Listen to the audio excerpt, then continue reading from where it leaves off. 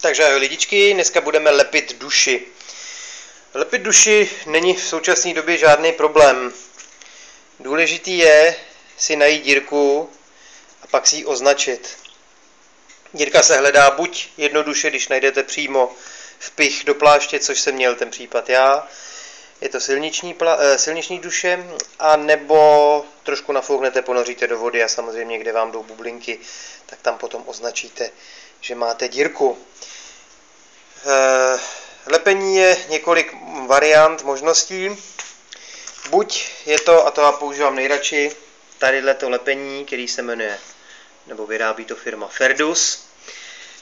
To lepení obsahuje takovýhle lepidlo, obsahuje záplaty, já to takhle vysypu. Záplat obsahuje několik velikostí. Já tady mám všechny tři, to znamená, na silniční je samozřejmě nejlepší tahle malá, pak je střední a pak když je trhná duše nebo něco takového, tak velká. Obdobný lepení je, já tady teďka nemám vodní krabičku, je tadyhle to lepení, který má taky záplaty velikou, menší a má takovýhle lepení. Každý, každá ta sada obsahuje také šmirgl. Tady je červený, tady je černý, takže se nelekejte, nic se neděje, když máte jinou barvu. A principem teďka je vlastně e,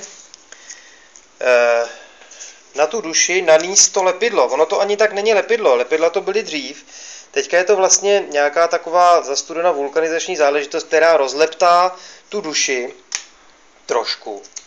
A když tam přiložíte tu záplatu, tak tady okolo vidíte jako modrý takový modrý proužek. To je strašně slabonká vrstvička, která je i ze spoda celé té záplaty, gumy, jemné, která vlastně při přiložení na to se rozleptá taky a tím se to spojí. Proto už není potřeba čekat tak dlouho, než se zalepí, protože vlastně je to záležitost spíš takového leptacího manévru. Takže já mám tady to lepidlo, mám ho při... lepidlo, no něco, mám to připravený. A teďka je potřeba právě, proto je tam ten šmirgl, vzít to šmirglem kolem té díry, abyste vlastně připravili tu duši ještě lépe k naleptání. To znamená, že vy tomu uděláte takový hrubý povrch a až tam potom nanesete tu to lepidlo budeme říkat, tak ono má lepší šanci leptat tu duši. Tak, takže teďka naneseme lepidlo. Asi tak velikosti samozřejmě té záplaty. Takže tady budeme, jak jsem říkal, používat tu nejmenší. Takže naneseme. Součástí té krabičky, já to tady nemám, je i takový vložený letáček o tom, jak postupovat. To znamená, že teďka musíme chvíli počkat, než dojde k naleptání té gumy a přitom si zatím připravíme tu záplatu. Ta záplata vlastně ze zhora, jak je vidět, má průhlednou folii a ze spoda má takovou folii hliníkovou, jestli je to vidět. To znamená, že já to teďka zkusím takhle oddělit, aby bylo vidět, že opravdu jedna je průhledná a jedna je hliníková.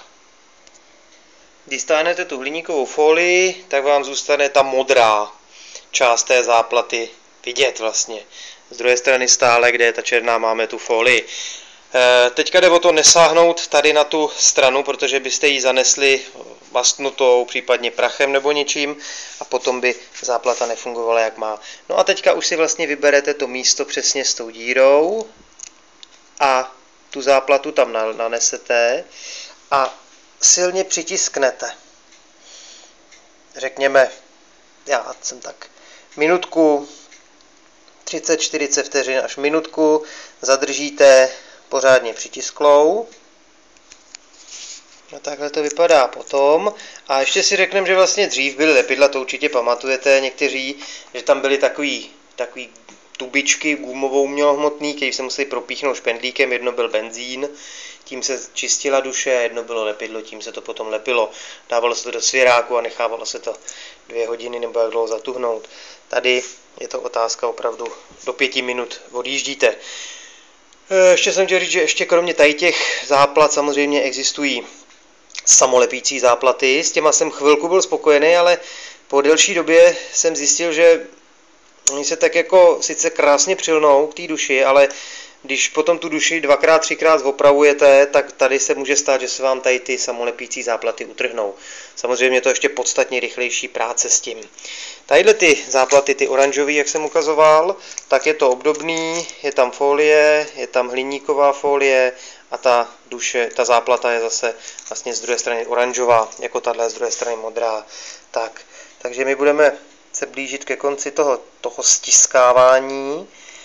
A teďka už je jenom, jenom vlastně jedna věc, a to sice odstranit tu, tu folii igelitovou, nebo jaká to je, a máte hotovo.